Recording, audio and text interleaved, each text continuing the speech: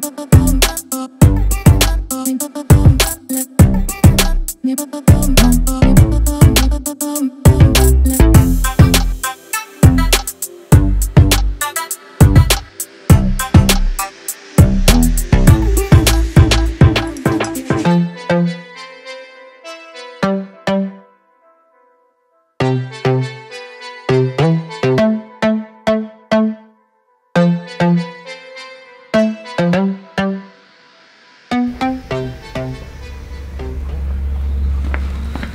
right, guys. Good morning.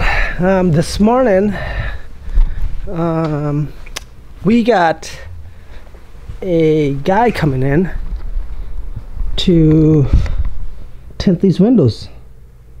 Um, I mentioned it in the previous vlog that we get a lot of sun that comes in, and it's hot, and plus it bleeds, it fades our shirts.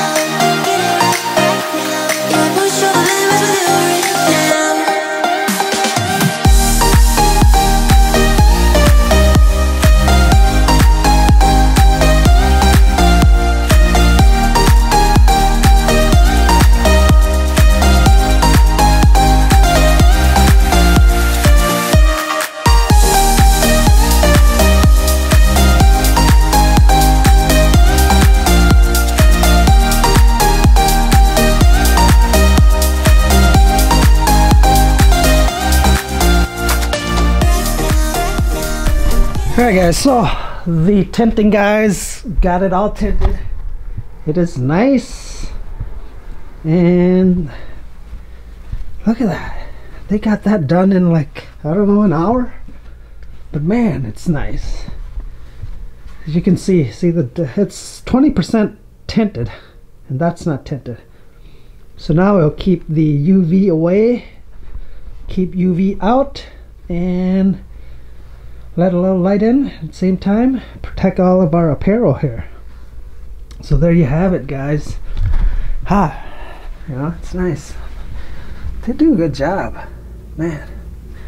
I think i paid i don't know 400 some bucks for yeah. So they'll bill me. It's like 400 something dollars i think for these two or these yeah these windows here. It's well worth it you guys. So all right, there you have it. Uh, on this video, I'm gonna take you guys to Zach Sales and Services. Um, it is getting to that season, snow plowing season, and I just want to give you guys some information and some plow options to put on your trucks and why each plow is um, unique and different and um, which plow is right for you. We got the Boss Boss plow mount on this GMC. Uh, we got the stainless steel blade on that one, 9.2 I think. And then this one we haven't put anything on it. Um, I think I'm going to just put a mount on that one. So I'm going to have Zach Sales and Services do that. Put a mount on that. And I am debating of going with the Boss V spreader for the salt spreader instead of tailgate because this one has a tailgate. We've been using this one we use a tailgate um, salt spreader for the last I don't know few years. Um, I think we got the SnowEx we got a hookup for the tailgate the SnowEx tailgate salt spreader hooked up on this one and the other truck the, my other black truck. So I'm gonna take you guys along to give you guys some information and hopefully it helps you guys. So let's go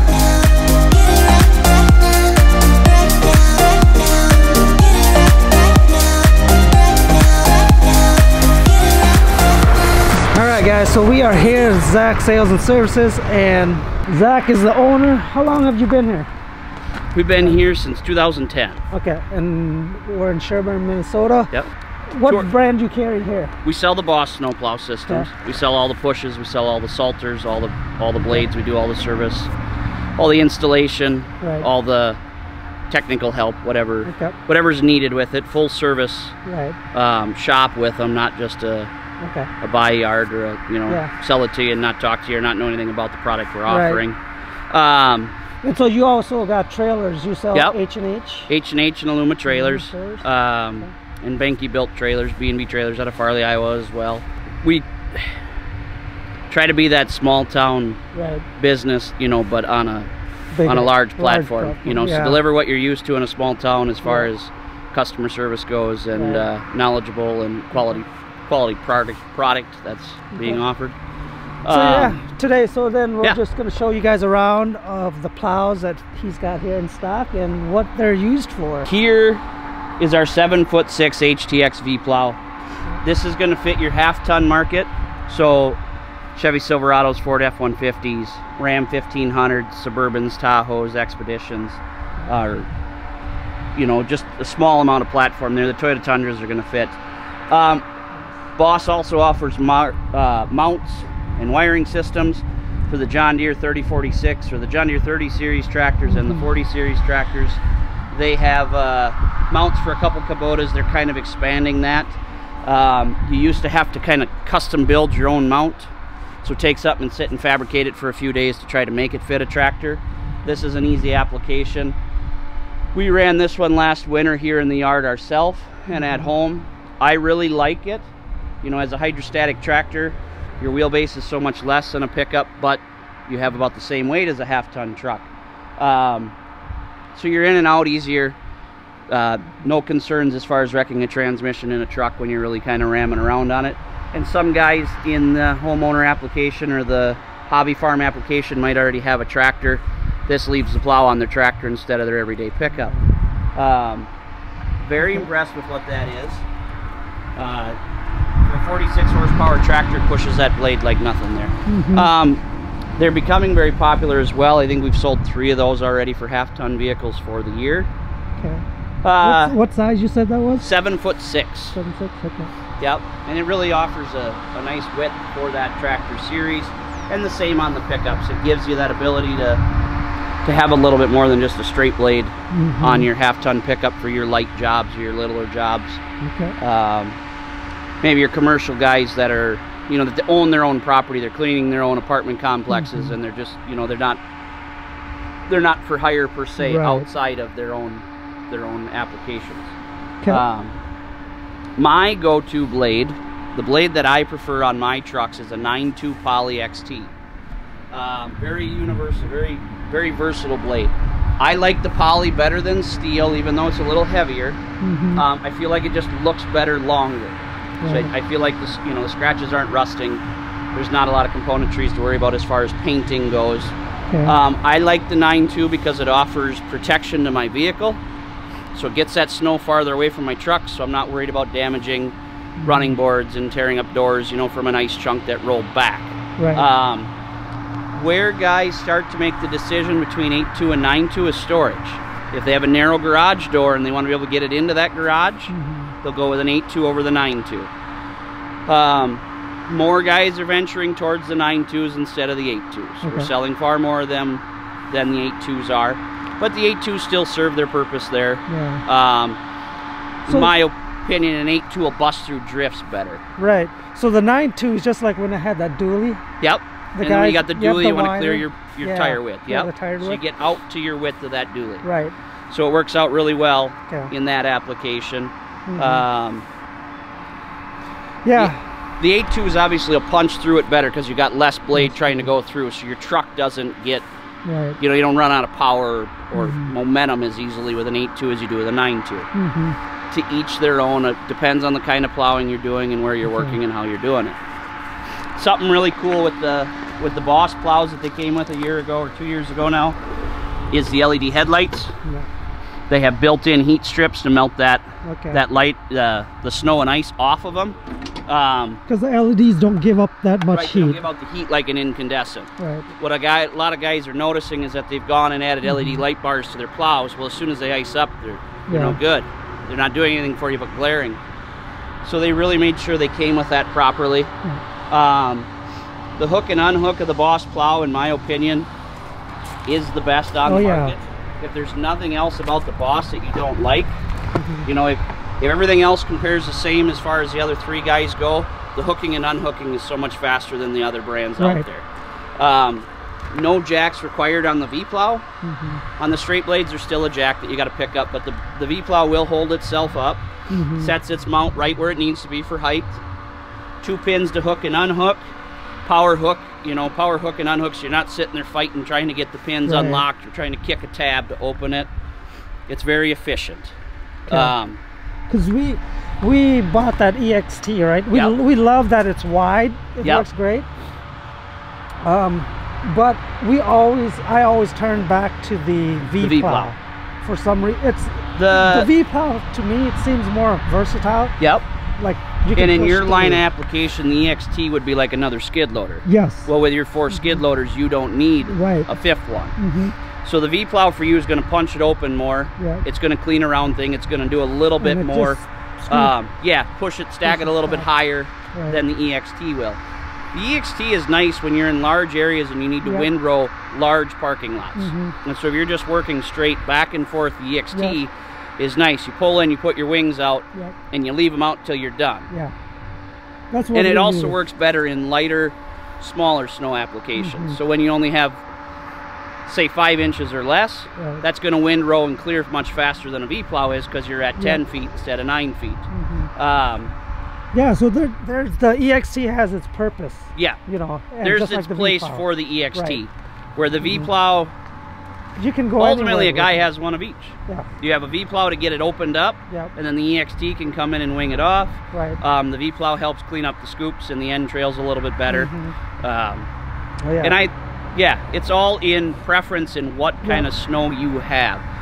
I notice a lot of times, depending on the region and the and the application. Mhm. You know, the Twin Cities they buy a lot of DXT snow plows. Right. Down here in rural area where we're doing a lot more gravel, the DXT becomes problematic, Oh, and. I'll show you what can happen on a on a DXT when it's used improperly and in the wrong application. Mhm. Um, So. so yeah, the the third V plow we got here today is on the side by side. This is a six foot six UTV V plow. Uh, everything here is the same as the tractor. mhm. So it's the same pump, it's the same controller, it's the same wiring. You run right from your cab, full operations like any other blade. Uh, you know, V scoop, don't have to get out to do anything. This is very popular on a Kubota with their uh, hydrostatic transmission. Guys will set it up with an exact drop salter and they'll just send that out to do sidewalks. All they just run down the sidewalk one way, come back, salting as they're coming back on their last pass. It's efficient, in my opinion. The small Right. wheelbase, the the cost of one more, you know, it's not not that uh, terribly expensive, and they might be using that side by side for other things throughout the year, other Right. than just plowing snow. Okay. Um, so these these two are more of the light duty work. yeah, these are going to be small, you know, tight spaces. Mhm. Um, maybe you already own a piece of equipment. You know, you already have a side by side, or you already have that utility tractor that you want to set up. Mhm. And so then these, okay, I can put a plow on that, and I don't have to put it on my truck. Right. There are certain guys that trade their truck every year, and so when that expense, you know, of, yeah. of swapping it over every year, having to maintain a second vehicle just to have a plow, Mhm. when they have one of these two vehicles already at the yard, Right. um, makes these a nice application. Okay. The, yeah, so they'll work. eh, there's a lot of applications here. There's a lot more than just the Polarises that they're offering mounts for. The Okay. most machines and the and the easiest way to find out boss has spent the time building a nice website with the product selector built in Mhm. so you go in and you punch in the information and then it tells you what they recommend Okay. for your plow if there's a mount available for your pickup Right. if you don't get somewhere with that reach out to your dealer Okay. This same blade that's on the tractor. Again, that'll do all your half tons. Okay. Um, this big guy here is a 12 foot backhoe push. Okay. You'll see the curve of the blade that helps keep the snow rolling. The more the snow is moving, the harder, the bigger the push you can make, the smaller the machine you can use to make that push. Mm-hmm. Um, Boss features pivotable wings, so the wings are going to adjust to the ground. You have four sections of cutting edge there. Each one has their own trip mechanism. So if you catch something there, that one's going to trip, but this one isn't going to trip. So it's very similar to some other competitors at a lot less money. This blade, you're around 6,500 bucks. Okay. Um, also features a floating mount. So, how they recommend you do this, and you can get a universal mount if you have quick attach on your loader, but you drive in with your bucket. You have one hook welded in your bucket and chained from here to that hook. Well, now these are going to float up and Okay, down. Up and down. So if you can't quite tell, are my feet on the ground? Am I sitting level? This is going to allow that adjustment. Plus, when that machine hits a high spot, this allows this to travel, hmm. keeps it to the ground, keeps the cutting edge there. So you're not getting a second pile. You got to come back and clean, you don't have to slow down to try to go through this Right. of an area. And then there you can see the So this would be used for like big parking lots, open space, yeah whatever. large areas. Guys that are running loaders, Yeah. big loaders. Um, the unique thing here, Boss likes to share a lot of parts from machine to machine. Right. So these springs are being used on all the V plows. They're the trip springs. Okay. Works out pretty well. Um, so you have less, you know, you can keep just a couple parts on hand instead of a Mhm. spring for this and a spring for that one and a spring for the next one. Everything's kind of integrated parts, so you're sharing back and forth. A blade they came with last year is the 92 XT, which we put on your truck last Yep. year. Um, I like the stainless if you don't want red. Yeah. I You like got a truck stainless. that just red doesn't look good on, it's Mhm. kind of an accent thing. Okay. I really like the way it, Yeah. I just like what they are. I like the color, it's different. Mm-hmm. Um, but performs the same as a Yep. Okay. as a Poly XT does. This Poly is our our two-year-old demo, Mm-hmm. and for me, you can just notice that the, you know, they're it's scratched and dinged a little bit, but Yeah. it's still clean. It's still clean. It still oh, yeah. works well. It functions as it needs to. Mhm. You can see in the center where the steel is that the paint's coming off, and you're getting a little surface rust there. Right. And so if it was a steel blade and it had as much use as that did in the gravel, it would the whole mold board would be rusty and polished up. Mm-hmm. Um, So I guess for the new guys here that are thinking about getting a, you know, set of plows and stuff on their truck, um, what what would you recommend? You know, always go boss. go boss. And then every truck is always the uh, you know the application that fits your needs the best. right. You know if you only doing your little bit stuff would get you into a steel blade over a poly, just save a little bit of money here and there. Yeah. Um, some guys don't need the flap. Many guys love the flap. Some guys don't need shoes. You know, so everybody's application is It's different, and it's uh, trust your dealer's recommendations. You know, the dealer's going to listen to what you're Right. doing for the most part. Um, and if they're not, find a dealer that is listening and understanding what you're asking for and what you're looking for, and if he's answering the questions right. Mm-hmm. Um, So it, it is important for dealer relationships, you know, to have you, the right equipment. you need to be a one-on-one with your sales Oh, rep yeah. and your service department at your dealership, especially if you're trying to make money with it. Yeah. Um, Because I know when we were down, you know, during the winter months, I'd call you up and say, "Hey, man, we broke this. Okay, get it in. Boom, Yep. we're out, back out." we try to be very efficient in that. Yeah. We try to keep the commercial guys in and out in less than an hour, keep them Mhm. moving if there's something we need. We try to keep all the parts that are necessary on hand. Um, we're working in frigid temperatures. We're working yeah. in less than ideal weather and Yeah. scenarios, and so things are going to get broke and things are going to get damaged. So Mm-hmm. your service should go far farther Right. than your sales does. So if the plow is, if you're three thousand dollars cheaper on this blade, know that you're going to have more problems. Right. because they're using inferior Yeah. quality components that are going into that. They're using less um, You know, maybe Boss has found that this motor performs better in the cold temperatures, but they had to use a heavier gauge wiring to do it. The next guy isn't doing that testing.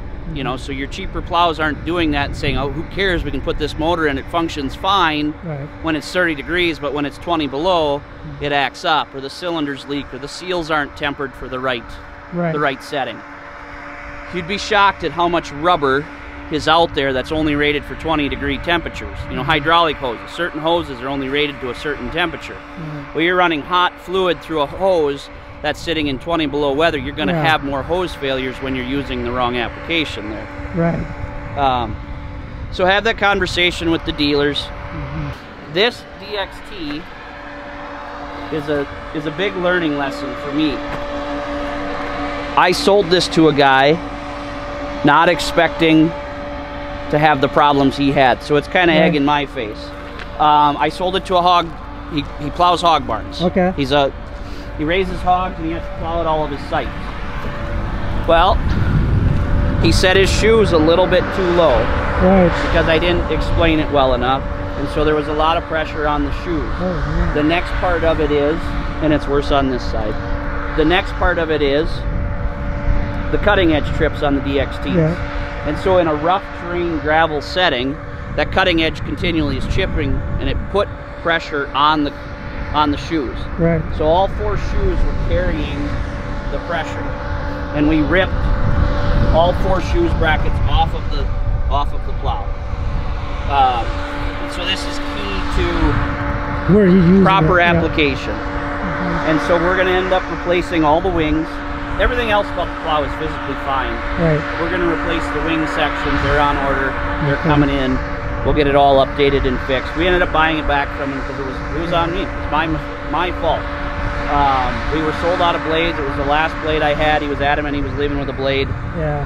and I sold him what I shouldn't have sold. Right. And I didn't explain it to him that this, and I didn't understand it either that there was that that potential of failure like that. Yeah. Um, so we stood behind it. We took care of it. Boss is standing behind us Right. to take care of it as well. That it Okay. it is what it is. Right. Now we know. Oh, so yeah. that's why most of our yard is XTs instead of DXTs. Right. Most of our guys are doing gravel. Yeah. Okay. So, you guys, there, Zach has quite a bit here. If you're in the southwest Minnesota area, it's got a lot of selections here. So, I've gotten a few blades from him, and we're gonna install, I think, a mount on ours. Not sure if we're gonna get a blade yet, but we need a mount on the uh, new truck. So there you have it, you guys. The video um, on the plows. I love my V plow. I love my Boss V plow. If you guys like this, give me a thumbs up, hit the subscribe button, and yeah, go give Zach Sales and Services a follow. I'll put his Instagram account down below in the description, you guys. So thanks for watching.